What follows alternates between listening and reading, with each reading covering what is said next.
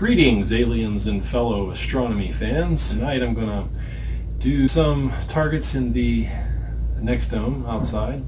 I'll start here in the office where I have the remote set up and I can go outside and show you the equipment that I'm using outside.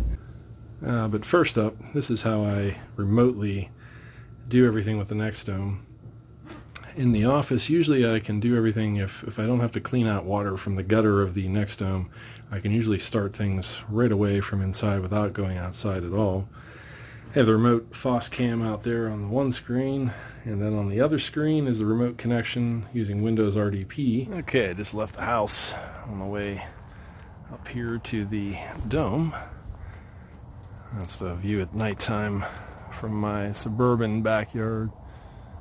Complete with the bowling alley and their obnoxious center light that I've asked them to put a shield over and they still haven't done even though they told me they would. That's a whole other story. Uh, of course, nothing I can do about that over there. Alright, now we're inside the dome. Got the lights on, headlamp on, and I turned the heater on before I came out. So obviously, I'll turn the heater off before I start imaging and wait till the temperature gets back down to where it was beforehand. Uh, back there in the corner is the mini PC that runs everything. Uh, this guy here on the wall is the uh, web control unit. That I can remote turn on everything. And down here we have the, the uh, DC generator. There it is, sorry. CEM 120 here. You can see the wiring for all that. And I have a USB 3 that I ran here so it could run this N-step Rigel Systems focuser because it needed extra power uh, via USB 3 because the twos aren't powered. Here we have the ASI 294 camera, the MC Pro, ready to go. I have the filter wheel, the mini filter wheel uh, from ZWO. In there I have the L-Enhance. I have I have a Sky Glow, but I'm going to be taking that one out. The L-Enhance blows it away. I also have an HA filter for F7. Uh, that one is 7 nanometers, I believe. And then the one for F2 with the Hyperstar is a beta that I have in there. And I also have a UV IR cut in there as well. I will be adding a uh, filter for planetary uh, for Venus an IR pass filter. I got an 807 for that. We'll try to capture some clouds. Uh, but for tonight, it's just F7, the ASI 294. We've got the um, 46 T, uh, T46 connector for the F7 reducer here on the telescope. And there's the Rigel, and it's gears for turning the focus knob remotely. I've got a dew heater up here on the telescope on the top, mounted on the rail.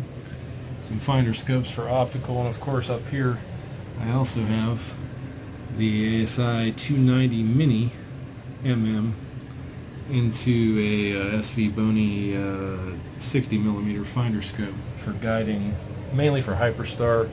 I have to get the uh, OAG going here for F7 tonight. I don't have it ready yet. Okay, now we're back inside here. I'm remotely connected in my office here. I've got the RDP open and now I'm going to show you what we do to get the NexDome rolling. Uh, first things first, we're going to open it. Uh, let me bring up that, I'll bring back the camera view here in one second. Let's go ahead and hit the open button on the NexDome.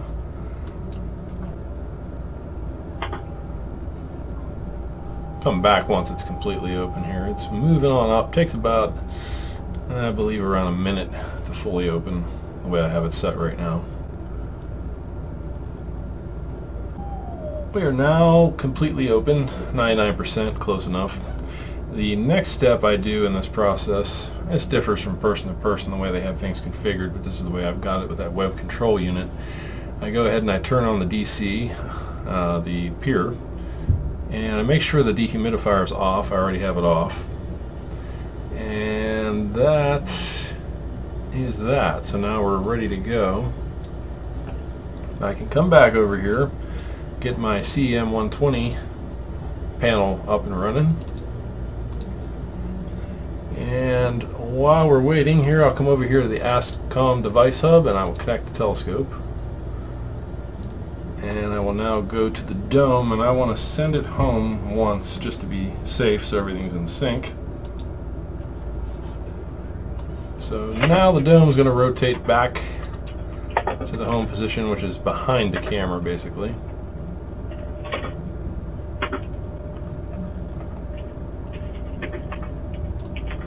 And that'll do its thing. In the meantime, I come over here into NINA, Nighttime Imaging and Astronomy, which is basically like SGP. I've never used SGP, but i I like what I see in NINA so far. It seems to do what I need to do.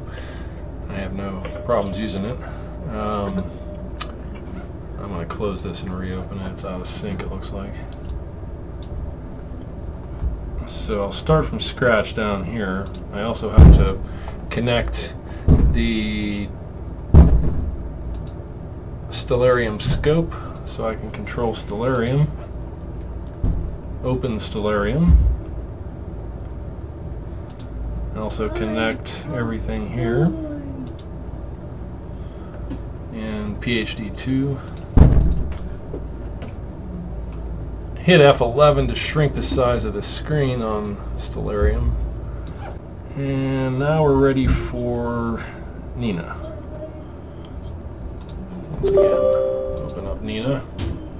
Okay, I'm loading the profile. The nice thing about NINA is that you can set different profiles. In this case, I have the F7 profile here, and I have a Hyperstar profile. So I'm going to load profile. Got the camera ready to connect. So we go through and connect the equipment, turn on the cooler. ZWO filter wheels on. Now we've got our N-step focuser. Turn on temperature control. No rotator, and here comes the telescope. And the guider for PHD2 and for weather using the Boltwood plugin and there we can see the weather watcher information so now I can go back to imaging and this is usually get things in focus here first now I'm uh, there's a probably a, a, ton of different ways you can do the focusing, the initial focusing. This is the way I do it. Uh, I'm going to set the exposure time to 4. I'm going to turn it to the L Enhance filter, which I'll use for the Crab Nebula. Uh, set the, the bin, or the gain rather, to 120. I'm going to loop this. And these windows, they can be moved to the sides like this. You just hold hold them in and, and latch on to the target points that appear. I found that out. Uh, it took a while to figure that out. A little hidden secret. Okay, so now we need to move to a target. So I'm going to go into Stellarium and I guess the first thing I'll do is I'm going to search for the Crab Nebula. So right there is where we need to be. I can go down here and choose the current object scope and slew. And now I also have to slave the dome to the telescope. Now we can see it doing its thing here.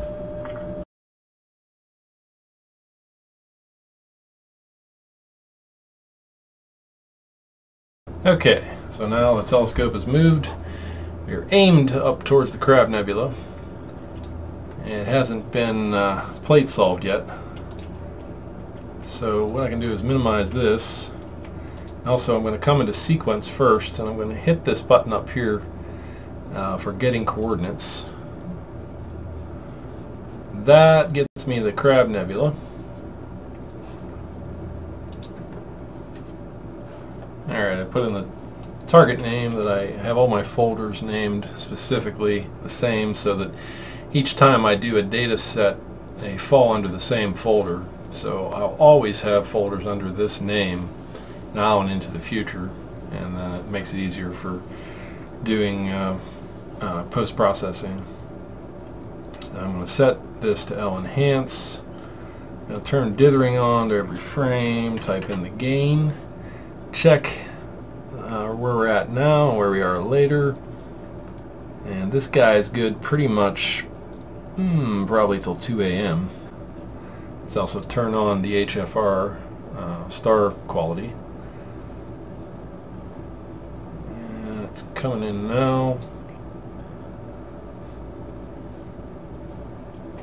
Out of focus. I also need to make sure that I didn't leave the lens cap on, which I might have. No, I didn't. There we go. Ah, you can see the Crab Nebula. It's not in sync yet. We haven't plate solved. It's up the top here on the PHD2 guiding with the ASI 290mm Mini. So we'll leave that there. I'm going to minimize it because it'll show up down here inside of Nina.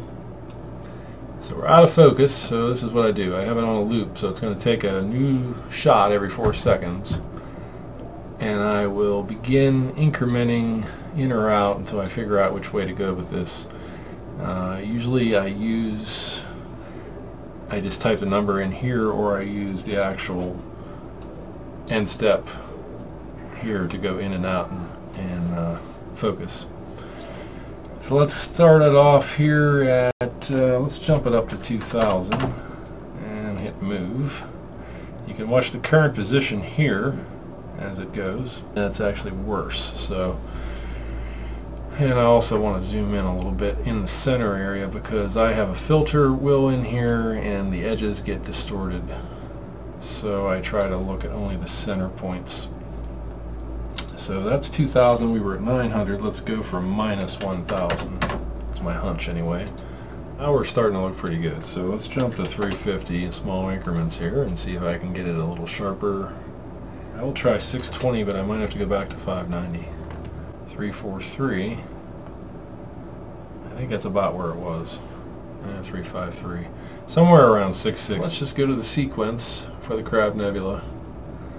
Now even though I'm going to do this later, I'm going to just show one little quick sequence and that'll, that'll be it. Um, what I do is I set the autofocus to start. I set the temperature to, uh, I forget, I think 2 and 4 on the percentage on the HFR difference. Make sure those are both on. Slew to target's on, start guiding is on, and center target is on. And come back to the equipment, I'm going to make sure that the focuser temperature, yeah, temperature compensation is on. And that is it, I believe. Set the amount and how long I'm going to do each exposure. Probably shoot for about 120 or 180, I'm not sure. I'll try 180 to start. Everything is set good here, and I'll probably end up with at least 20 exposures later on. So, let's start this sequence. Starting the sequence, go back to our imaging tab. So let's see what's going on. Now this is our autofocus box down here. And it's going to do its autofocus routine after it does the plate solving. Here's the plate solving. I got to remind myself I am using um,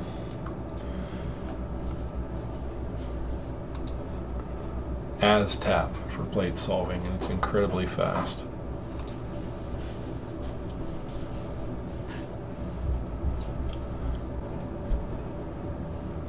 Okay, now comes the autofocus routine. Now just for reference, I have under autofocus these settings um, right now. I have been toying with changing them. I've been toying with the backlash settings. I did an auto backlash, tried it uh, didn't like what I saw on the curves, so I, I, just played around with numbers until I thought the curves looked better.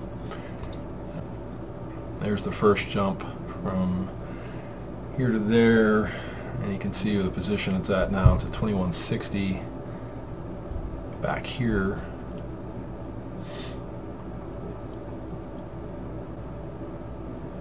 These first two points were kind of squirrely.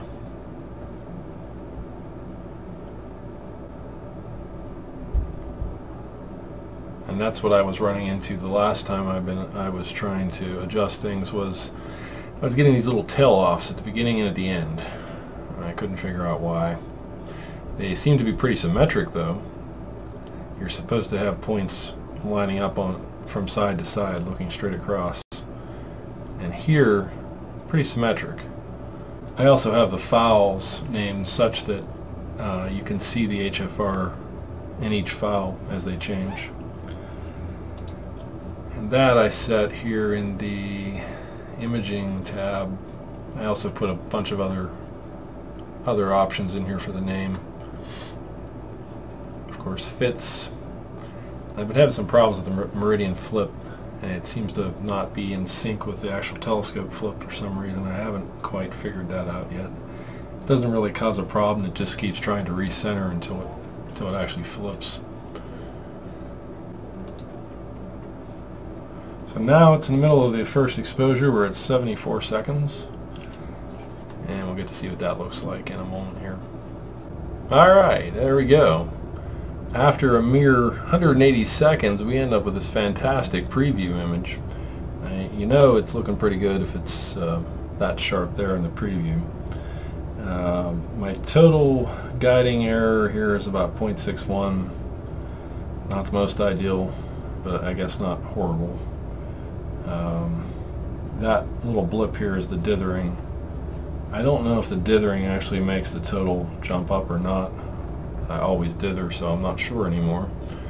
Uh, we can zoom in a little bit here in this image and just take a look. Uh, looks like I'm having some trailing problems. And I can take a look here in PHD 2 and check the star profile. And it's uh, pretty sharp. I don't really see a problem there. It looks like maybe the RA access is a little too aggressive. I could probably change the RA, I believe is what my understanding is on that.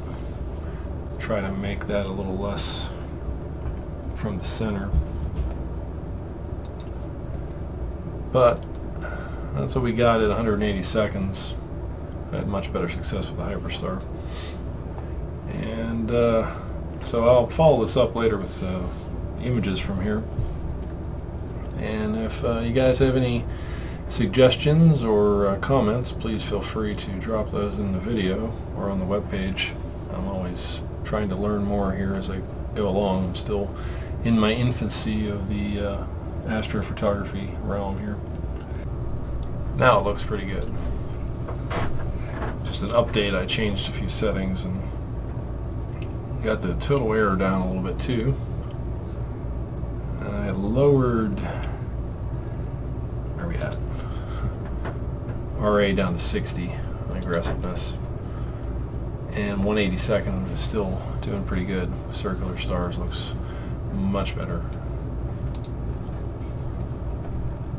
I wanted to point out that Stellarium has a really nice feature in here go down here to the menu and choose this symbol, Astronomical Calculations window, and go to the What's Up uh, area and take a look at any category you want. I've added in the comment for Pan-STARRS that's in here.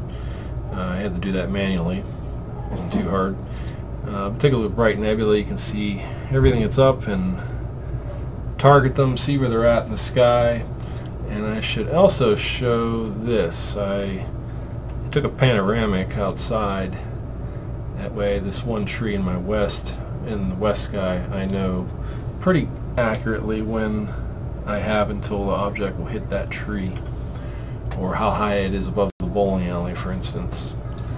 Uh, thanks to the panoramic and followed some tutorials online to get that merged in as best I could. It's probably within about 5 to 10 degrees accuracy with this tree anyway, so I have a good ballpark idea of the timing of it at least. Alright, I'm back for one more segment here. I decided to take a few shots of the Pan-STARRS comet. In the meantime, I know it's going to end at 2 a.m., which will probably be plus or minus 30 minutes, well, more plus 30 minutes. So what I do is, since there's no direct way to uh, shut the dome within Nina as of yet, I have a, a scheduled task here. And I will set that trigger it's already the right date, but let's bump this to about 2.45 to be safe. 2.45 a.m. It will run this script here using the cscript. Dome closed park VBS that I have. First it checks a few parameters to make sure the dome is actually open. PhD running is one of them. Uh, because CloudWatcher during the day will trigger a uh, not safe condition and run the script and I don't want it having to open up the dome software every time so I have some parameters set uh, so it will check the parameters and then go ahead and move the dome to home and close it at home because I had trouble with the shutter getting stuck in the park position recently. It was mainly due to the cold weather. Might have been contracted somehow or something like that. Um, so now I know home is safer, so I go to home first and then back to park. And this script will take care of all that. And I can sleep and know that it's shut by the time I wake up. Or check on it in the middle of the night with a camera. As of right now, this is still disabled, so I've got to enable that. And we should see the comment here. Now you can kind of see it right there on a short four second exposure and I have it set to 120 seconds. That makes the tail a little longer but also brings out some more detail too. Uh, I'm going to try that first. And there we go. There's 120 second exposure. Just want a little addendum here again uh, with Stellarium. If you set your parameters for your telescope focal length your reducers, under lenses, here's the f7. Under sensors, you can put in the camera information. If I got this correct, I hope I have these set correctly. I think I do. You can also set off-axis guider information too. And once you do that, I found this target for Casper the Friendly Ghost, which I might try to shoot as well tonight, if I have time. Uh, when you zoom in, you can see exactly what you're framing. You can also do this within the framing tool of Nina as well. But at least here you can see where the object is in the sky and then zoom in from there. Uh, this is with the reducer and here would be without. If I was at F10, here's F7. I can also put on the Hyperstar uh, sensor as well. Well, it would be under uh, under lens reducer, I guess. Um, it has a nice little feature within Stellarium. And so by comparison, putting in the Hyperstar, which I believe is 560 millimeter focal length, so 0.2 multiplier at 20, 0.2 times 2800 brings it to 560. This would be this would be the view at 560.